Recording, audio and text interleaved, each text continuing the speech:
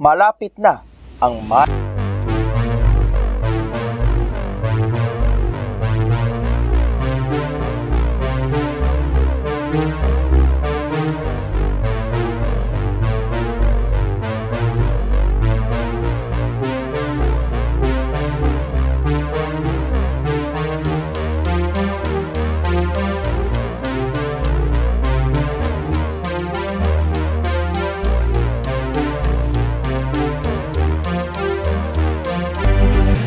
Sa talakayan natin ngayon, may mga inimbita tayong mga tao na masusing pag-uusapan ang mga umuubo na kakandidato sa eleksyon 2022.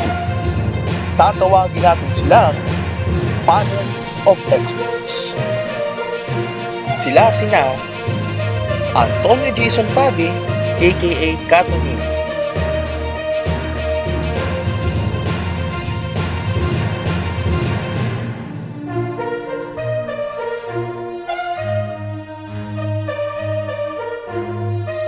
Luis Palay Jr., aka Teacher Luis.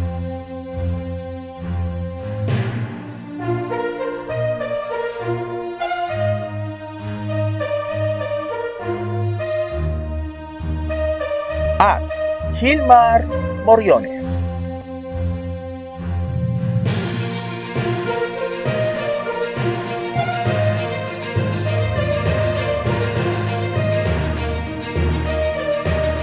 Tutulungan nila tayo upang makilala natin ang gusto ang mga matunog na tatakbo sa susunod na halalan.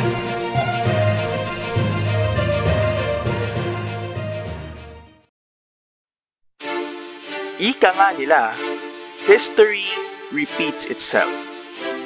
Ang mga partidong nasyonalista at liberal ang matuturing na pinakamainit at pinakamatandang magkaribal sa kasaysayan ng halalan ng ating bansa mula pa noong 1946. Dahil nga nito ang Crispa at Toyota, KMJS at Rated K at maging ang PewDiePie at T-Series na mga hidwaan. Sa huling bahagi ng ating Presidential Candidate Series, hindi lamang ang mga partido kung hindi ang mga pinaka-prominenteng leader mismo ang may mainit at neck and neck na hidwaan. Kilalanin natin sina Lenny Robredo at Bongbong Marcos at ating alamin kung tatakbo ba sila. Ang kinikilala ngayong leader ng oposisyon sa buong Pilipinas ay walang iba kung hindi ang vice-presidente mismo na si Maria Leonor Herona Robredo o Lenny Robredo sa kanyang mga taga-suporta. Yung sa akin kasi yung pagiging Pangulo, destiny. Um, walang, yung kasaysayan natin magpapakita na hindi ito napapaghandaan. Yung sa akin lang, magiging masama para sa akin kung ang iisipin ko 2022. Sa kabilang dako naman, ang namumuno sa mga loyalista o yung mga taong kontra sa kasalukuyang oposisyon ay walang iba kung hindi si Ferdinand Bongbong Marcos Jr. A candidate, uh, not selection. We just proceed. Eh, Kung anong mangyari sa kaso, kung magandang resulta, di maganda. Eh, di makakatulong yan. Pero in the meantime, eh, we have to lay the groundwork for any cam- a national campaign. Si Lenny Robredo ay tubong Bicol at palo ng dating DILG Secretary na si Jesse Robredo. Unang sumabak bilang NGO at humanitarian worker sa kanilang lugar bago tumakbo bilang kongresista ng Naga noong 2013. Nasungkit niya ang pagkapanalo noong 2016 bilang pangalawang pangulo pero isa ito sa pinakakontrobersyal at pinakamagkadikit na bilangan sa kasaysayan ng ating bansa. Pero si Robredo ay may mga laban rin kanyang kinakaharap, higit lalo na ngayon bilang leader ng Partido Liberal. na administrasyon noong panahon ni Noynoy Aquino pero ngayon ay ang inaaping oposisyon sa panahon ni Rodrigo Duterte. Anak ng dating Pangulong Ferdinand Edrelin Marcos at ng may bahay nito na si Imelda Romualdez Marcos. Dati rin siyang naging gobernador ng Ilocos Norte na pinasumpa mismo ng kanyang ama. Mapalad ang tadhana kay Bongbong. Pagbalik na pagbalik niya sa Ilocos Norte, ang Solid North, iniluklok siya bilang gobernador at bilang kongresista bago pa man niya naisipang tumakbo bilang senador noong 2010. At noong 2016 nga, siya ay tumakbong pangalawang pangulo sa ilalim ng koalisyon nilang dalawa ni Miriam Defensor Santiago. Hindi pinalad na manalo si Miriam pero si Bongbong ay nakaposisyon na upang maging pangalawang pangulo ng ating bansa. Pero dahil sa neck and neck na bilangan na ilang libo lang ang lamang, isa ito sa mga pinakamainit at pinaka-controversial na election case ng ating bansa. Si Leni Robredo ngayon ang kasalukuyang leader ng oposisyon ng ating bansa.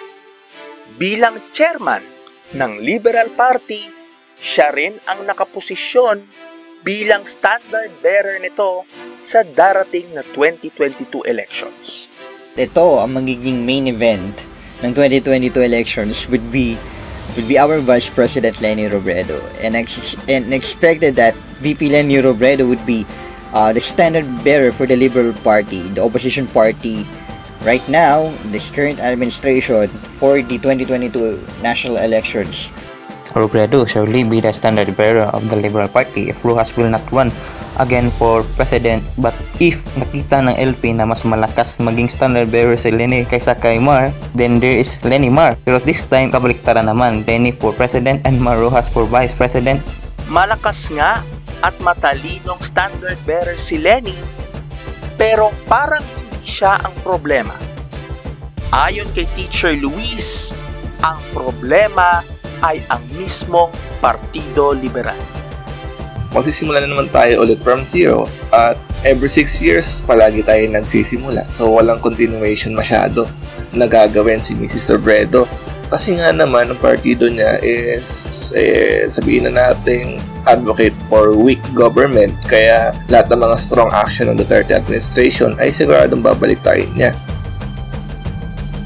Hindi man party leader si Bongbong Marcos ng Partido Nacionalista pero sa mata ng mga Marcos loyalists, siya ang tinalagang tagapagmana ng anak ti Amyanan na si Apo Makoy. Si Bongbong ang kombinasyon ng salita at gawa. Sa mata ng mga loyalists, siya ang tinalagang tagapagmana ni Apo Makoy. Pero sa kabilang banda, gumagawa rin ng sariling pangalan si Bongbong hindi lamang sa mata ng mga loyalista, kung hindi sa mata ng mga millennials rin. kay BBM naman is um, makikita natin na isa din siya progressive leader na may reforma. Pilit na inilalayo ang kanyang sarili sa madilim na anino ng naging administrasyon ng kanyang ama at nakita naman din yun sa improvement sa kanyang lalawigan sa Ilocos Norte. Now, when the era of the strong man rise and rule. In this case of Bongbong is that the image of his late father were also a strong man is nakadikit na sa kanya sa mga mata ng mga anti-Marcos at loyalista. With strong political ties with Duterte baka isa siya sa maging standard bearer or candidate either vice president or president. Vice and president, yun na nga. At dahil sa kanilang neck and neck posisyon noong nakaraang vice presidential elections, natural lamang natin kung isipin na kung si Lenny Robredo ang leader ng oposisyon, si Bongbong Marcos ang leader ng kontra-oposisyon. since na medyo mainit ang publiko sa opposition, they would think na kailangan ipagpatuloy yung mga nagawa ng Pangulo ng current administration in the name of the Marcos, in the name of the Bongbong Marcos. So, I don't, I think uh, he has the advantage and the thing is, how could he use his advantage? Matindi ang pagkakahati ng ating bansa bunsod ng hidwaan ni na Leni Robredo at Bongbong Marcos. Ayon kay Hilmar, ang power base daw ni Robredo ay nasa mga kabataan at millennial. And some voters like millennials, patok si Madam Lenny, patok si Vice President Lenny. However, with uh, may mga weak points siya, particularly to the one who believes in administration, which is kung saan uh, nagiging nagahari ngayon si public opinion. Yung mga DDS, yung mga voters pa rin ni President Duterte and, and its allied during the elections. Si Bongbong Marcos naman ay hindi magpapahuli. Nasa kanya ang suporta ng napakaraming loyalista at ayon kay Katuning, pati mga supporters ni PRRD.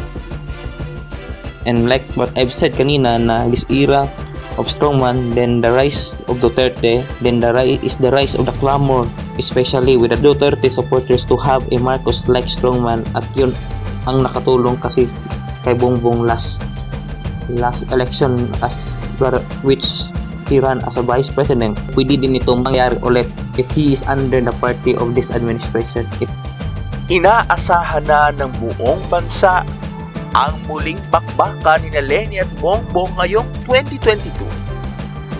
Pero si Bongbong ay nasa crossroads na raw.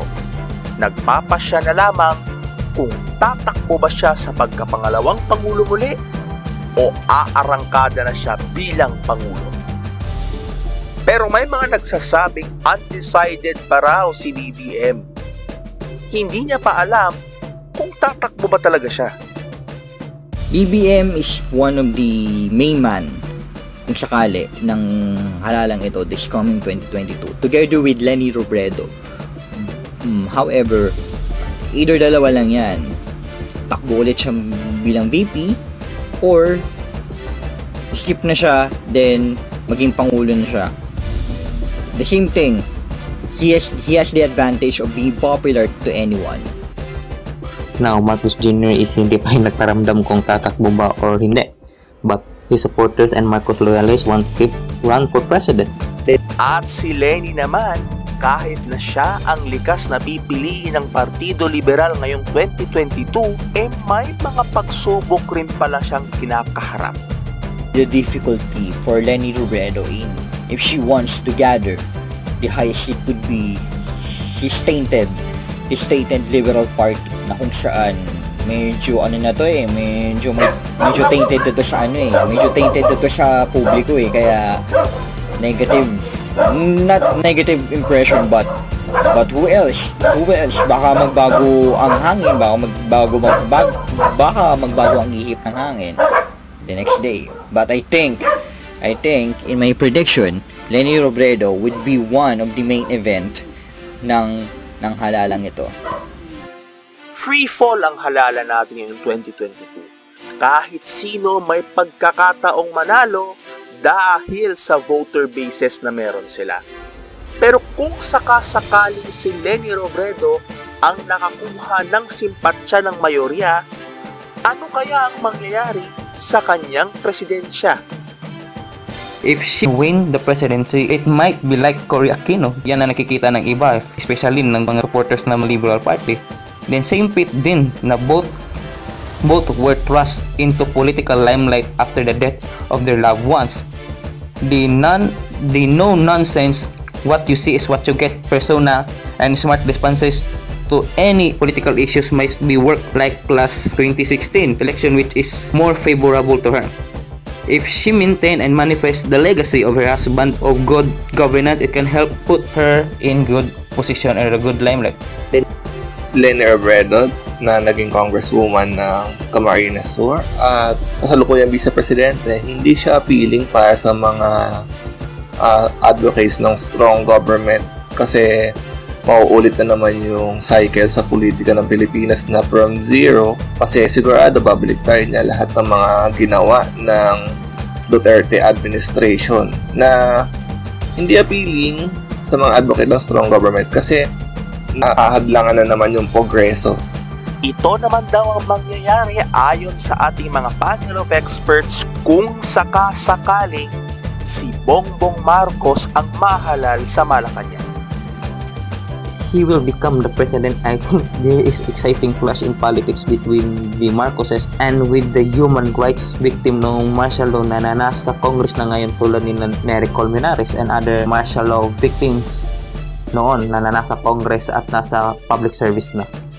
At kung siya magiging presidente, sabihin na natin na kakain ng malaking oras na bilang isang presidente yung pagdepen pagdepensa sa mga naging kasalanan or problema ng kanyang ama at mga problema noong panahon ng kanyang ama kasi yan ang madalas ibinabato ng mga kritiko ng mga Marcos sa kanila.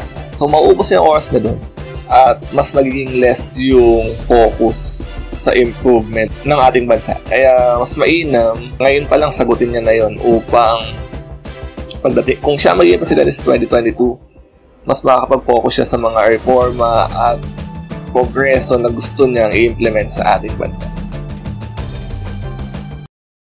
Sa kabuuan ng ating presidential candidate series, anim na individual ang masusi nating pinag-aralan kasama ang panel of experts para malaman kung tatakbo ba talaga sila.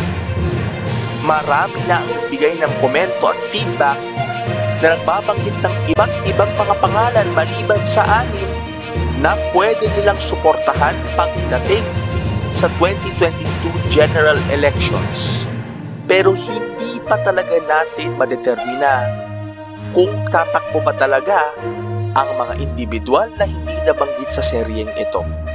Gayon pa man, sang-ayon ng ating panel of experts na kung sakasakali ang 2022 ang isa sa mga pinakamaiinit na halalan sa kasaysayan ng ating republika. Muli, ating bubusisiin ang mga kandidatong ito pagdating sa takdang panahon. At kung ang serye mang ito ay nag-aaral, kung tatakbo ba sila, tayong mga Pilipino mismo ang magpapasya kung iluluklok ba sila. Kung sino man sa kanila ang tatakbo at sakaling manalo, naway magkaroon na ng tunay na pagbabago sa ating republika. Kung nagustuhan mo ang video na ito, like, share, subscribe, and hit the notification bell for more videos. Please naman no.